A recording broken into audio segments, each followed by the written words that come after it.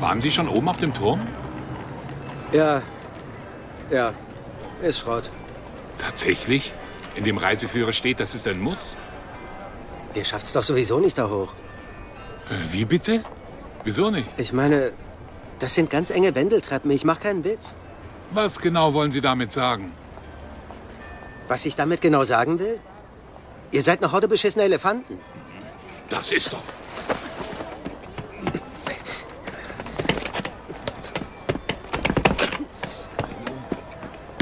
Komm, lass gut sein, Fettsack.